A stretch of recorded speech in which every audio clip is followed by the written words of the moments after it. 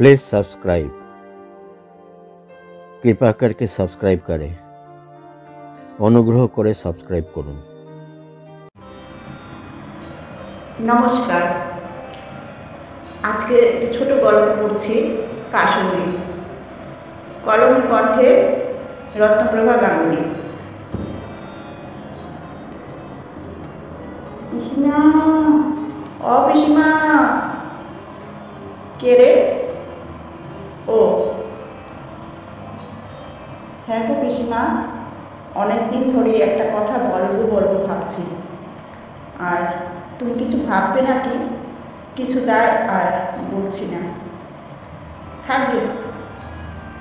হুম, যত্রতত্র ঘুরে এসছো শুনি এবার বলো তো তুমি, আমাদের বাড়ির কথাটা তো বলতে। কি যে বলো না তুমি? ও, সেই তো। ওকে দেখি আজকাল বাড়িতেই দেখা যাচ্ছে। হ্যাঁ গো কলেজ টলেজ বন্ধ করে দিলে নাকি হুম, চুলকোটা এমনি এমনি পাকেনি, বুঝলে? সত্তরের কাছাকাছি হলো। বেশ তো। ঝুড়ির কথা শুনুনি কিছু? আমি পিসিমা তোমার করে কি হলো না হলো, যারা বয়েই গেল। ওই যে নিপার মা, অবসর সময় ডেকে নিয়ে বসে দুটো গল্প গুজব করি। তখন বলছিল আর কি পারিকে নাকি বাড়িতেই দেখছে কটা দিন ধরে। আর ও, তোমার বিষয় তো চাকরি থেকে অবসর নিয়েছে অনেক বছর হলো। সে তো তোমার অজানা নয়, সে কটা টাকায় পেটে দানা পড়ব, পড়বে না ওদের পড়াশুনো। তখন কিন্তু কেউ পিসিমা, মাসিমার খোঁজ নিতে আসেন বাছার এই বুড়ো লোকটা কদিন রাস্তার ধারে বসে টাইপ করে কিছু পেত সেও সয়নি বেশি দিন একদিন দ্বীপের বন্ধু ডাকছে এসে, মাসিমা, ও মাসিমা দৌড় হলো খুলে দেখি বাপ্পা দাঁড়িয়ে, তার সাথে জনা কয়েক লোক। এ কি?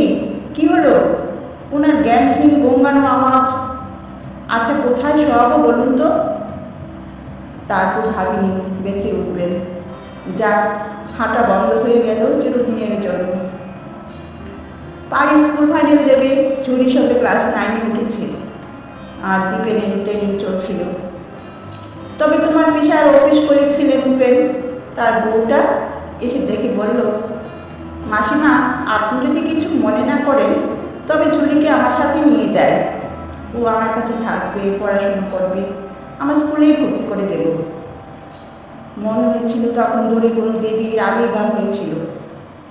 যাক, সুখ দুঃখ মিলেই যে জীবন গাথা তবে শোন পাড়ির একটা প্রাইভেট স্কুলে চাকরি হয়েছে আর দীপিনেরও ট্রেনিংয়ে শেষে কোম্পানি ডেকেছে। তাই এবার ঝুড়িকে বাড়ি নিয়ে এসেছি। এই কারণে ওদের বাড়ি ফেরার আচ্ছা। পিসিমা, আমি যাইবো এখন? রূপের বাস আসার সময় হয়ে গেল।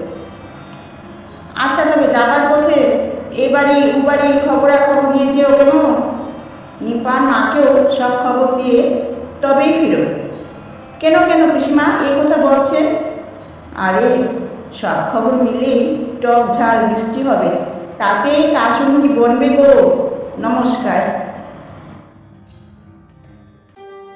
থ্যাংক ইউ শুক্রিয়া। ধন্যবাদ।